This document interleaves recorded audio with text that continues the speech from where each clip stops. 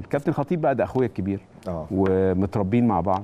وأنا بعتبره يعني آه، يعني فك فاكهة. يعني راجل آه، يعني اتعلم هو كويس قوي كمان على إيد آه، صالح سليم بحفظ الألقاب وكابتن حسن حمدي. فالنهاردة كان بيدير المكتب التنفيذي 10 سنين اتعلم كويس قوي.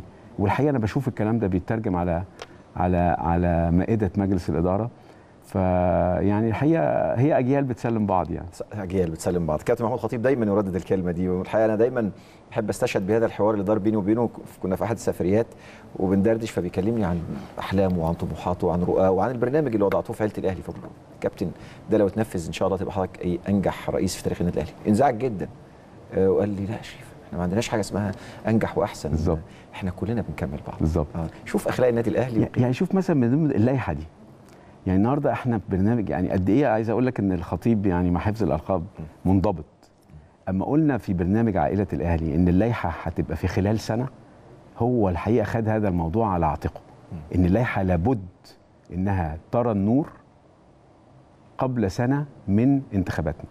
النهارده إحنا بنتكلم على 28 سبتمبر فأنت بتتكلم إحنا انتخبنا 1 ديسمبر أو 1 يعني آه 30 آه يعني تسلمتوا العمل فعليا 10 بالظبط. ديسمبر بعد يعني- وصول يعني بعد آه، 10 آه،. آه، جواب اللجنة الأولمبية باعتماد نتيجة الجمعيه العموميه بالظبط فأنت بتتكلم في خلال 10 أشهر لأن هو الحقيقة البرنامج عائلة الأهلي هو الدستور اللي إحنا كلنا ماشيين بيه يعني عارف أنت عاملين زي التلامذة كل واحد حاطط الملزمة تحت صحيح تحت باطه وبيشوف إيه. يعني الحاجات اللي, اللي وعدنا بيها الجمعية العموميه لأنك أنت لما تشوف الجمعية العمومية النهارده ما يجي لك فوق ال 40 ألف دايما الكابتن خطيب يقول لك إيه؟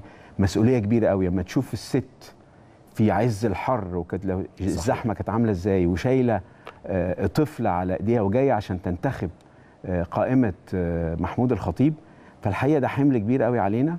وده بيترجم بقى من خلال ال ال إنك أنت تبقى رجل زي ما بيقولوا الإنجليزي walk the talk. يعني أنت قلت حاجة لابد إنها إيه؟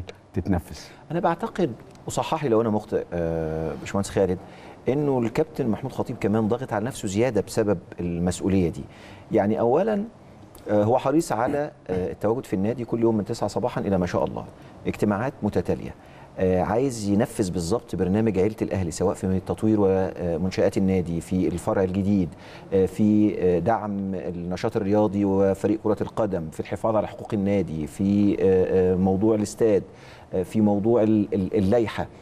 آه، شايف إن دي ميزة ولا عيب؟ يعني فكرة إنه الكابتن محمود الخطيب واضع نفسه ومجلس الإدارة تحت ضغط رهيب بهذا الشكل في ظل ظروف الحقيقة أنا شايف إنه في تحديات كبيرة جدا ورغم ذلك حدث إنجاز خلال تسع شهور آه، دون مجاملة ونشاتي مجروحة غير مسبوق. أنا محق ولا مخطئ في هذا الأمر؟ بص لو ما كانش كده ما يبقاش محمود الخطيب. يعني حتى محمود الخطيب أيام ما كان بيلعب كان تحس إن هو بيشيل الفرقة على كتفه. يعني كان بيبقى آه، آه، مسؤوليته كبيرة. يعني محمود الخطيب شعبيته كبيرة جدا. معبود الجماهير لغاية النهارده أنت بتشوف أطفال. أطفال. يعني يعني ما حضروش حتى حاجة لكن يجوا يتصور عليه. فده عبء كبير عليه إن هو إزاي يحافظ على ال- على اسمه. وفي نفس الوقت إزاي يحافظ على الكيان اللي هو اتربى فيه النادي الأهلي. النادي الأهلي ده حاجة كبيرة جدا.